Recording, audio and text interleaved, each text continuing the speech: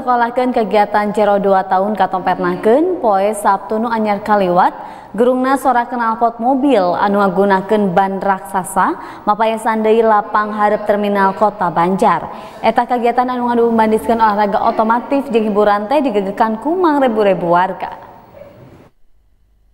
Satu tas ngokolaken kegiatan jero 2 tahun katong pernaken poe Sabtu tanggal 14 Maret 2020 nu anyar kaliwat gerungna sorak knalpot mobil anu ngagunakeun ban raksasa mapaesan deui lapang hareup terminal kota Banjar anu dina tahun ieu kapasing kana delapan seri Eta event sportainment anu dikokolakeun ku Super Adventure teh mangrupa rukun gawe jeung Genta Auto and Sport anu ngadumbaniskeun olahraga otomotif jeung hiburan. Samalah saban kota anu ngokolakeunana dipapaesan ku jalur anu beda-beda.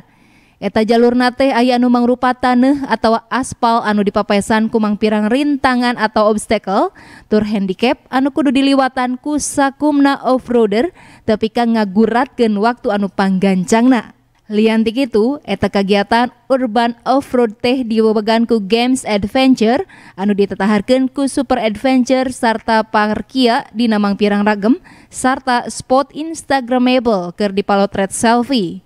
Sejeroning kitu eta kegiatan rukun gawe super adventure, genta auto and sport, serta mariachi production teh diajeban ku Monster Ramp, nyaeta arena ke skateboarders katut rider BMX profesional Indonesia.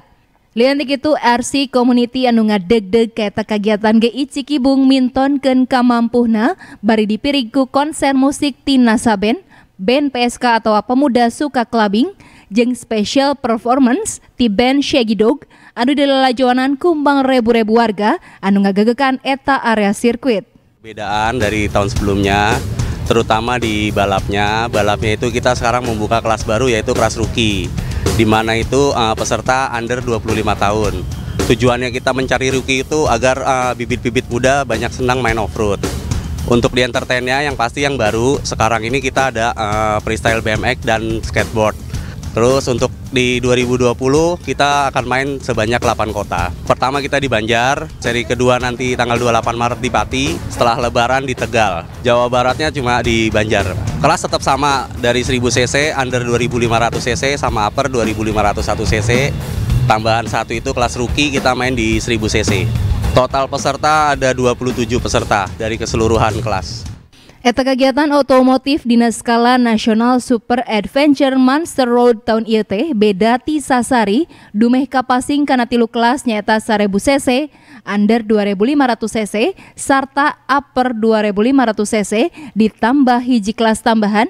Nyaeta kelas rookies ancokeun nonoman milenial umur 18 tepi ka 25 tahun anu tacan kungsi aub dina kompetisi off-road nasional boh regional.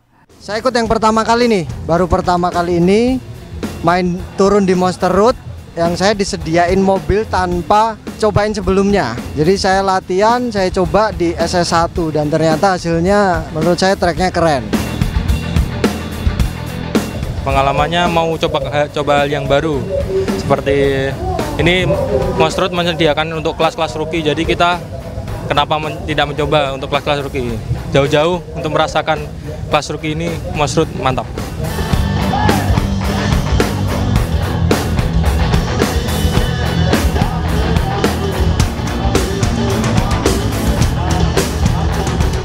Tim Liputan Bandung TV